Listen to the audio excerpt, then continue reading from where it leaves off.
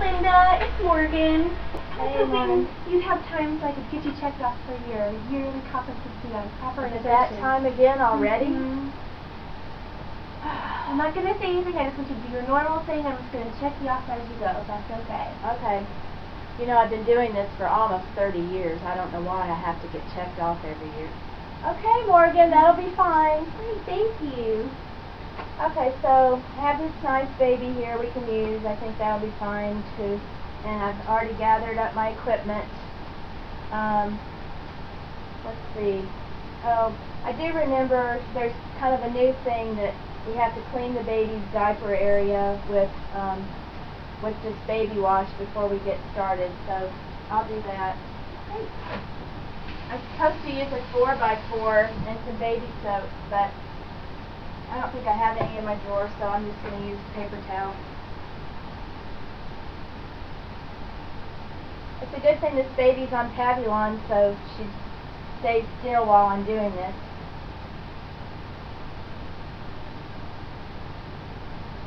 I guess I could get somebody to help me hold. But she wasn't so skilled. Um, the other thing I think I remember is you can, uh, for girls, you can put a cloth diaper or something up underneath their hips so that you can uh, reach them better. So I'll go ahead and do that. Okay, now the sterile part, this is what I'm really good at. I chose a 5 French catheter. There's a whole bunch of different sizes and I just kind of guessed at what size is, is the best for her.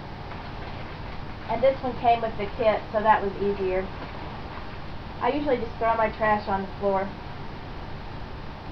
Now there's some way you're supposed to open this, but I don't think it really matters. I've been doing this so long that I'm just going to open it up any way I can. Now there's this sterile um, cloth in here that we're supposed to put up underneath the baby, or if it's a little boy, we can put it over the baby. So I'm going to stick that there. Let's see.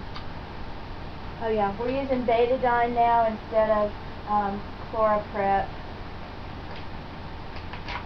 So that'll be good. Throw those there. Okay. I'm going to go on and get sterile now.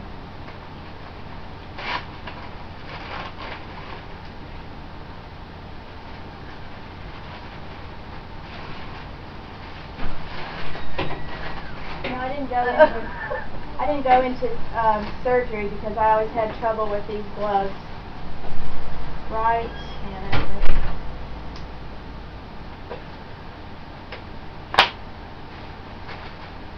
it. Can be tricky. Not when you're a seasoned professional like me. Okay, so there's lubrication in here. Put some of that out so it's not difficult. This is the Buretrol that collects the urine, and I'll have to hook that up when I'm done, so I'm just going to hang it here somewhere.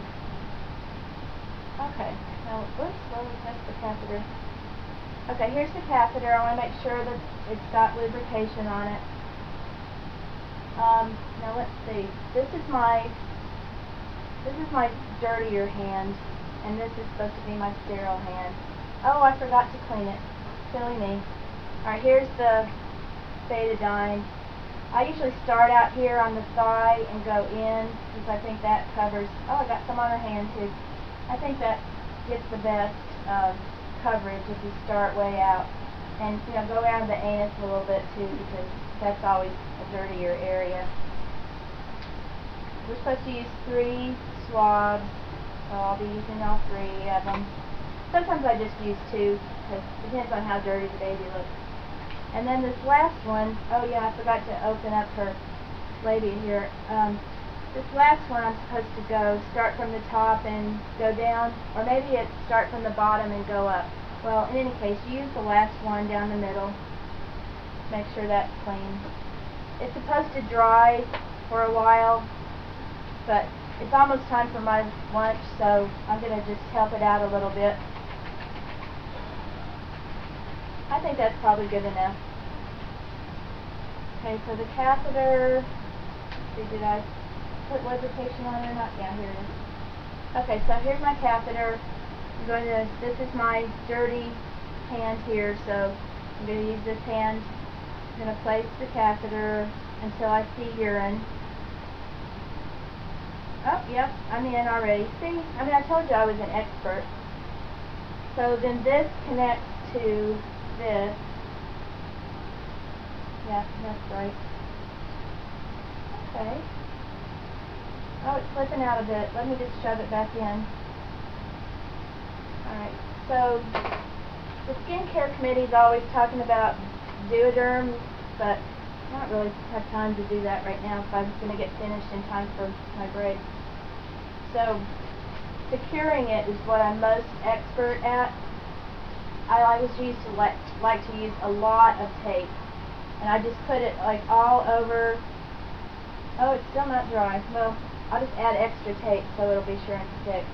I put it all over the urinary meatus and get it on as much skin as possible.